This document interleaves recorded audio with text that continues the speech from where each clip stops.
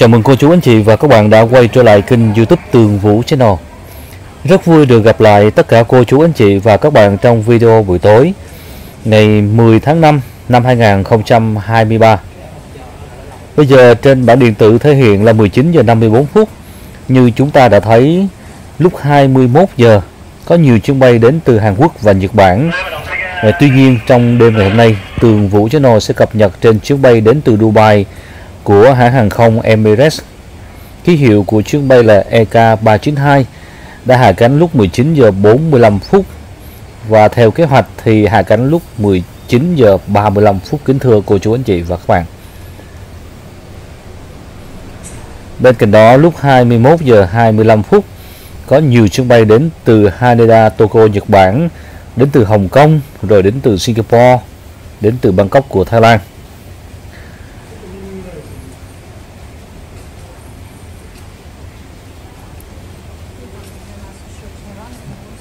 Tại sân bay quốc tế Tân Sơn Nhất thì à, từ sau 21 giờ 30 phút cho đến 0 giờ ngày hôm sau thì sẽ có rất nhiều kiều bào hạ cánh xuống sân bay quốc tế Tân Sơn Nhất bay đến từ các nước như là Hàn Quốc, Nhật Bản.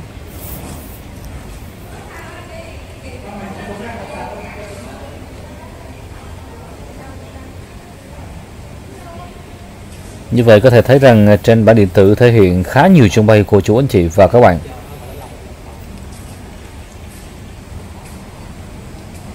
Có các chuyến bay đến từ Hồng Kông rồi từ uh, Singapore, Malaysia, Seoul rồi đến từ Sydney, Melbourne của Úc.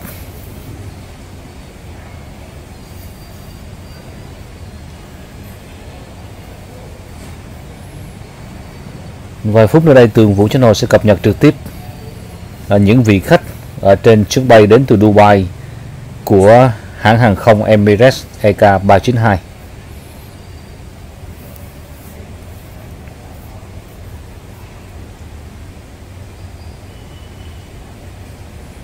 Như vậy, chuyến ờ, bay từ Dubai, kế hoạch hạ cánh lúc 19 giờ 35 phút, thì ờ, dự kiến hạ cánh lúc 19 giờ 45 phút.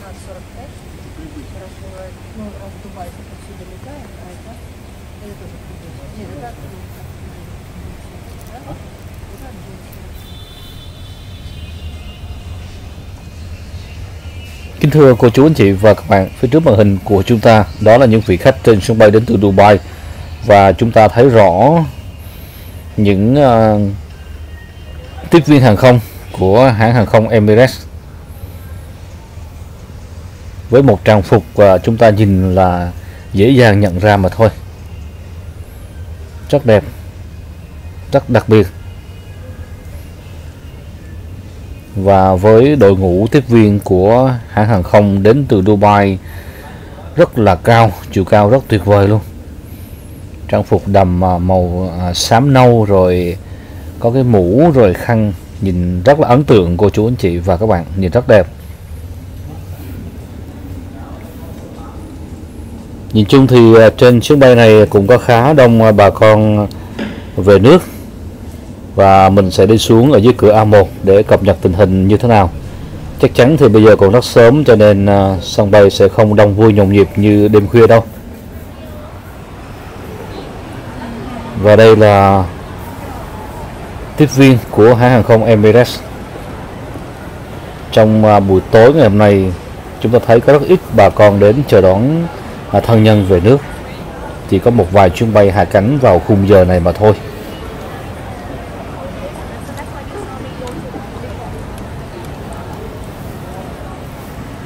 Kính thưa cô chú anh chị và các bạn, vào ngày 3 tháng 5 năm 2023, theo thông tin từ Sở Du lịch tỉnh Kiên Giang đã cho biết, trong 5 ngày nghỉ lễ 30 tháng 4 và ngày 1 tháng 5, tổng lượt khách đến tham quan du lịch trên địa bàn tỉnh này ước đạt khoảng gần 265.000 lượt, giảm 9,4% so với cùng kỳ năm 2022. Ồ, như vậy tổng thu từ du lịch đạt trên 210 tỷ đồng. Riêng thành phố Phú Quốc đón hơn 112.000 lượt khách, đã giảm 11,5% so với cùng kỳ năm 2022 và đạt doanh thu từ dịch vụ du lịch hơn 132,5 tỷ đồng, so với cùng kỳ năm ngoái giảm 24,3%. Trong dịp lễ, công suất phòng lưu trú bình quân trên địa bàn tỉnh Kiên Giang đạt tỷ lệ rất thấp so với năm 2022, chỉ hơn 52% mà thôi. Phân khúc cơ sở lưu trú hạng 4 năm sao đạt từ 65 đến 70%. Và điều đặc biệt đáng nói và đáng quan tâm hiện nay đó là thị trường khách du lịch từ các tỉnh thành khu vực phía Bắc đến Phú Quốc, tỉnh Kiên Giang giảm mạnh so với năm ngoái do nguyên nhân chính đó là vé máy bay tăng cao. Theo như ông Hà Duy Thảo Phúc, Phó Tổng Giám đốc công ty Ruti Trip Phú Quốc đã cho rằng trước đây thì giá vé máy bay theo quy định cung cầu, còn từ năm 2023 thì không còn theo quy định cung cầu nữa mà theo kế hoạch lợi nhuận của các hãng bay. Dĩ nhiên khi vé máy bay tăng quá nhiều so với à, Đà Nẵng, Thái Lan hay những tỉnh khác thì à, du khách sẽ bắt đầu không còn đến Phú Quốc nhiều như trước đây. Và theo như Sở Du lịch tỉnh Kiên Giang hiện tại điều quan tâm nhất đó là khách du lịch quốc tế đến tỉnh Kiên Giang đang giảm dần. Đường bay kết nối đến Phú Quốc chỉ còn hiện tại là Hàn Quốc, Malaysia, Thái Lan. Còn đường bay từ Ấn Độ đến Phú Quốc đang tạm dừng do lượng khách rất là vắng luôn cô chú anh chị và các bạn. À, các đường bay kết nối từ Đài Loan đến Phú Quốc cũng vậy, cũng đang trong thời gian tạm dừng bay luôn. À, chỉ bay được 10 chuyến thôi. À, với đường bay kết nối từ Hồng Kông đến Phú Quốc cũng vậy, dự kiến bay vào ngày 27 tháng 4 năm 2023 nhưng cũng đã không thể nào diễn ra theo kế hoạch được cô chú anh chị và các bạn. Như vậy chúng ta có thể thấy rằng là tình hình du khách à, nước ngoài khách quốc tế đến những điểm du lịch tại Việt Nam đang giảm dần cho nên bắt buộc những đường bay quốc tế bay thẳng sẽ phải tạm dừng hoạt động mà thôi. Kính thưa cô chú anh chị và các bạn, theo như thông tin mới nhất thì Tổng thống Mỹ Joe Biden đã ban hành một à, xác sắc lệnh mới liên quan đến tình hình kiểm soát à, dịch bệnh Covid-19. Theo như sắc lệnh mới sẽ có hiệu lực từ 0 giờ ngày 12 tháng 5 năm 2023 theo giờ miền Đông của nước Mỹ, tức là vừa qua ngày 11 tháng 5. Ngày mà Mỹ đã ấn định để thực hiện dỡ bỏ hoàn toàn, dỡ bỏ tất cả những rào cản liên quan đến Covid-19. Các quy tắc kiểm dịch nói trên cũng như quy định tiêm phòng Covid-19 cho một số đối tượng trong nước đã được chính quyền Tổng thống Mỹ Joe Biden đưa ra vào trước đó năm 2021. Thì đối với ờ, cái thông tin từ 0 giờ ngày 12 tháng 5 năm 2023 sẽ bắt đầu chính thức dỡ bỏ toàn bộ những rào cản liên quan đến vấn đề tiêm vaccine hay là test visa khi mà kiểm soát ở biên giới cho người nhập cảnh vào đất nước Mỹ. Đây có thể nói là một trong những thông tin cực kỳ ờ, vui và rất là quan trọng bởi lẽ nó tạo điều kiện thuận lợi cho hành khách, cho du khách, cho những người muốn nhập cảnh vào Mỹ không còn phải lo lắng bởi những ràng buộc à, yêu cầu liên quan đến dịch bệnh Covid-19 nữa kính thưa cô chú anh chị và các bạn. Cũng như Bộ An ninh Nội địa Mỹ cũng sẽ không còn yêu cầu hành khách nhập cảnh Mỹ qua các à, cảng nhập cảnh khác à, cung cấp về bằng chứng phải tiêm đủ liều vaccine. Tất cả những yêu cầu này đã bị loại bỏ hết. Phải nói đây là một thông tin cực kỳ vui mà CDC của Mỹ đã thông báo dựa theo sắc lệnh của Tổng thống Joe Biden. Kính thưa cô chú anh chị và các bạn, vào ngày 10 tháng 5 năm 2023 thì hãng hàng không Philippines Airlines đã ký biên bản ghi nhớ với tập đoàn Airbus chọn mua 9 máy bay A350. Đại diện hãng sản xuất máy bay Airbus tại Việt Nam đã thông tin vào ngày 10 tháng 5 thì hãng hàng không Philippines Airlines đã ký một cái văn bản chọn mua 9 máy bay A350 của hãng à, Airbus. Như vậy, theo như hãng hàng không Philippines à, sẽ được khai thác à, tàu bay A350 trên các đường bay thẳng từ Manila đến Mỹ, bao gồm cả hướng bờ đông của Hoa Kỳ và Canada. Với các máy bay mới sẽ gia nhập đội tàu bay cùng với hai chiếc A350 đang được uh, hãng hàng không à, Philippines Airlines khai thác phục vụ các điểm đến ở Bắc Mỹ, châu Á và Australia. Và cũng giống như à, A350-900, các máy bay A350-1000 của hãng hàng không Philippines Airlines sẽ có cấu hình thiết kế cao cấp với các hạng thương gia, hạng phổ thông đặc biệt và hạng phổ thông. Theo như Chủ tịch kiêm Giám đốc điều hành của Philippines Airlines cho biết, tầm bay của máy bay Airbus A350 gạch 1000 đã giúp hãng khai thác các đường bay xuyên Thái Bình Dương qua các vùng địa cực theo cả hai hướng quanh năm gồm một chuyến bay thương mại dài nhất thế giới kết nối Philippines với New York và Philippines Toronto, Canada. Với đội bay A350 được mở rộng thì hãng hàng không ờ, Philippines Airlines sẽ một lần nữa khẳng định đủ khả năng cung cấp đường bay thẳng từ Philippines đến châu Âu.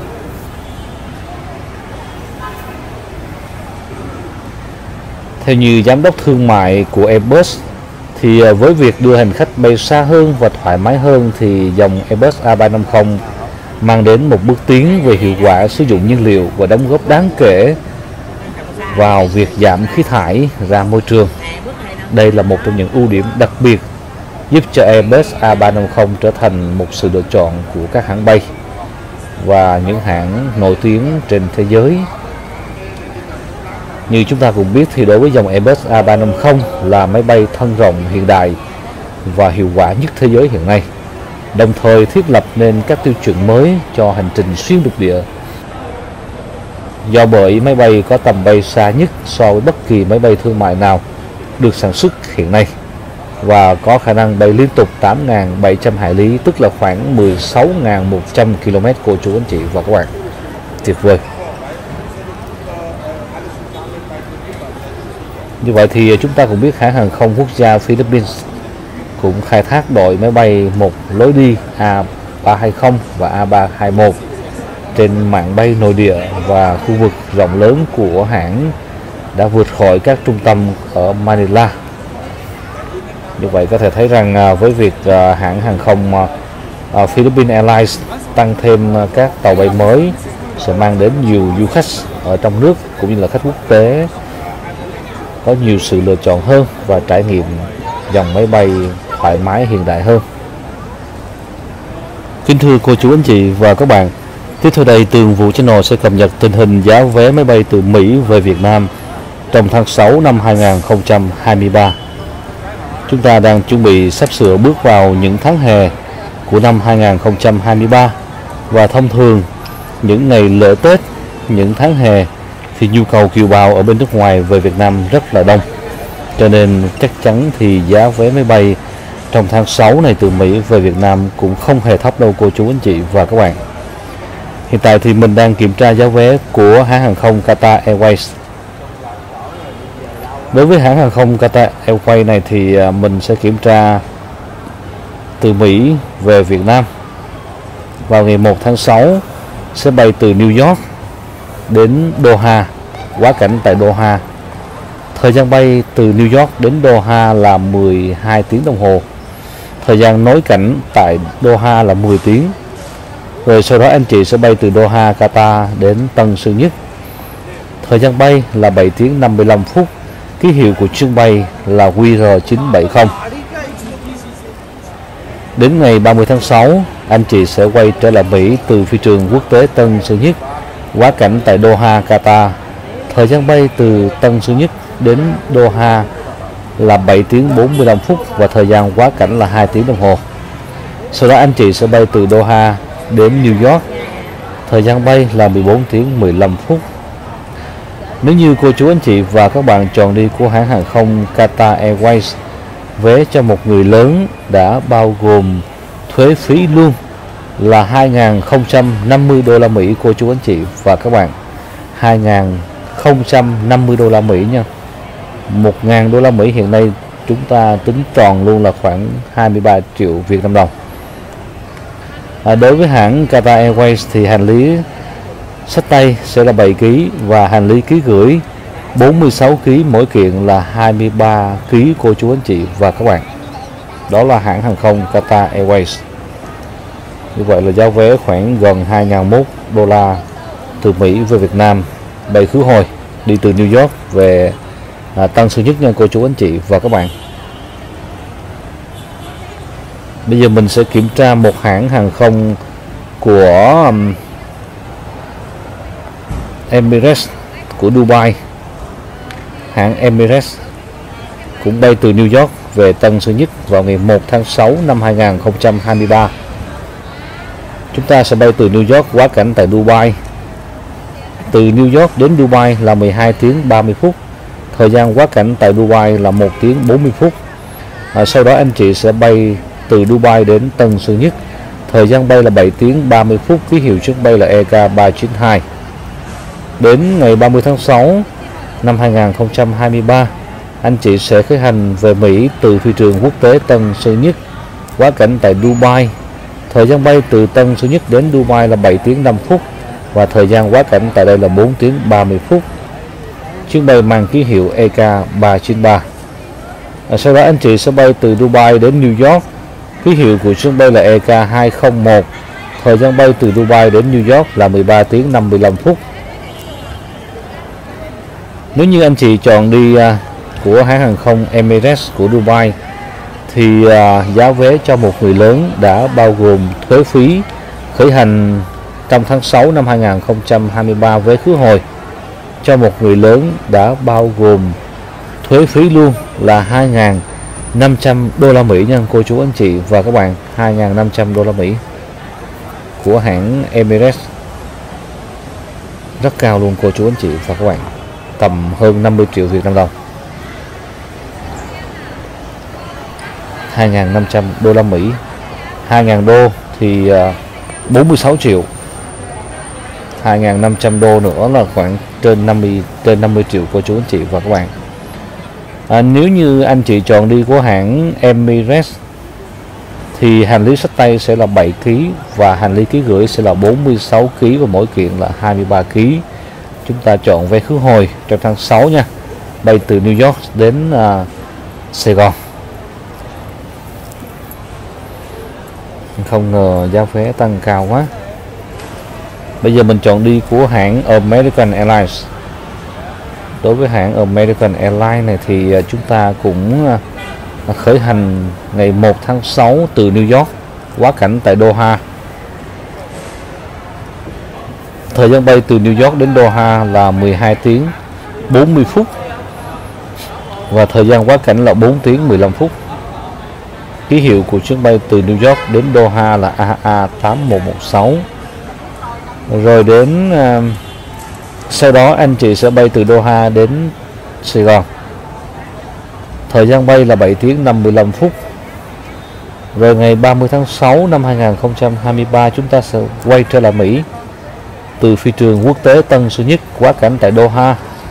Ký hiệu của chuyến bay là AA8312 thời gian bay từ Sài Gòn đi Doha là 7 tiếng 45 phút. Thời gian quá cảnh là 1 tiếng 55 phút à, sau đó anh chị sẽ bay à, từ Doha đến New York. Ký hiệu của sân bay là AA8131 thời gian bay từ Doha đến New York là 14 tiếng 15 phút. Như vậy thì à, chúng ta đến New York à, sẽ hạ cánh xuống sân bay quốc tế John Kennedy United States. Đối với giá vé của hãng American Airlines này cho một người lớn đã bao gồm thuế phí luôn, vé khứ hồi trong tháng 6 năm 2023 giá vé này rất là cao luôn, cô chú anh chị và các bạn ơi 2.800 đô la Mỹ trên 60 triệu luôn. 2.800 đô la Mỹ nha, cô chú anh chị và các bạn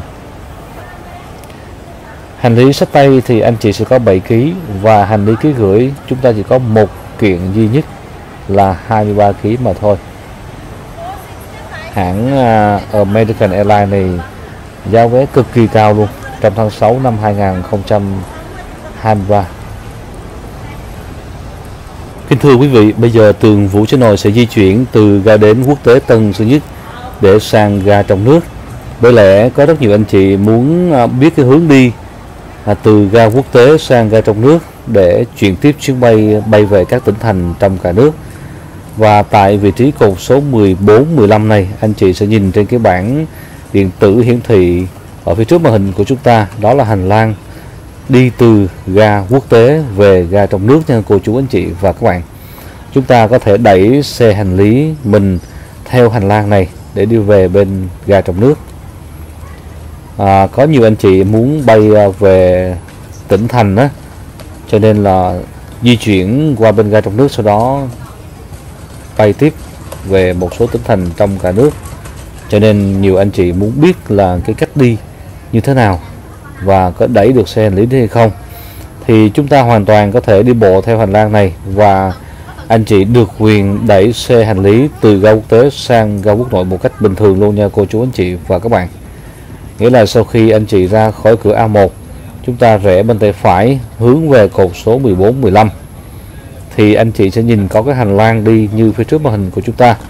Ở trên có cái bảng điện tử màu vàng có hướng dẫn ga trong nước đi như thế nào, đón xe buýt, đón taxi thì đi như thế nào. Thì theo cái hành lang này chúng ta đi thôi.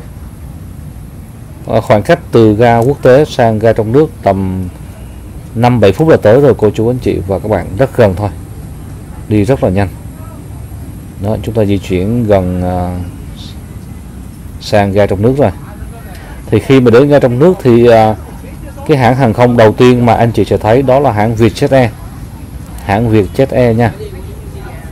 Hãng hàng không đầu tiên mà anh chị thấy bên phía tay phải nè.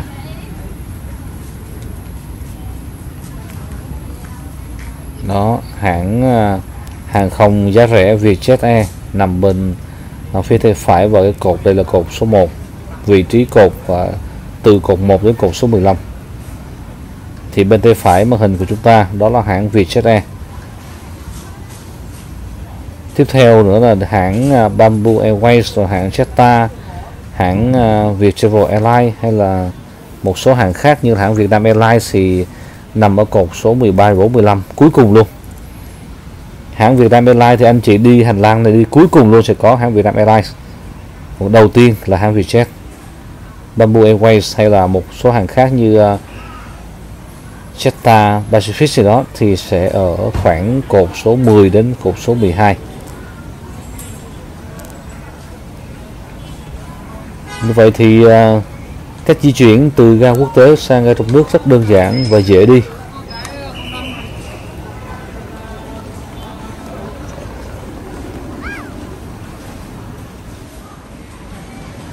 Ngày hôm nay là ngày thứ tư cho nên là sân bay quốc tế Tân Sơn Nhất cũng không đông và ờ, sân bay trong nước thì cũng có một số chuyến bay hạ cánh vào khung giờ này. Đây là hành khách đến ờ, ở ga trong nước cô chú anh chị và các bạn.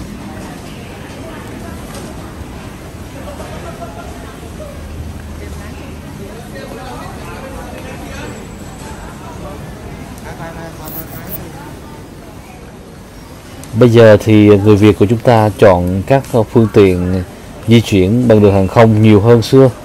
Ngày xưa thì giá vé rất cao cho nên để mà đi vé máy bay rất là khó. Còn bây giờ mọi người đi bằng đường hàng không để rút ngắn thời gian.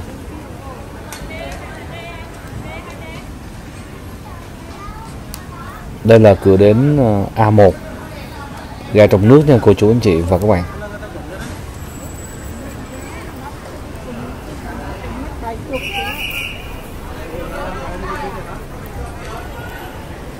Nói chung thì bây giờ sân bay trong nước thì cũng giống như bến xe thôi bà con đi rất là đông. Vé rẻ thì tầm năm bảy trăm ngàn một vé nếu mà chúng ta mua sớm. Đi trong nước đó. rồi chúng ta cứ di chuyển ờ, thẳng hành lang này sẽ đến hãng hàng không Việt Nam Airlines ở cột khoảng số 13, 14, 15 nha cô chú anh chị và các bạn. Và như vậy có lẽ những hình ảnh này cũng tạm khép lại video trên kênh youtube Tường Vũ Channel trong buổi tối ngày 10 tháng 5 năm 2023 À, xin cảm ơn tất cả cô chú anh chị và các bạn đã yêu mến ủng hộ đồng hành với kênh youtube Tường Vũ Channel. À, xin à, cảm ơn và xin chào tạm biệt.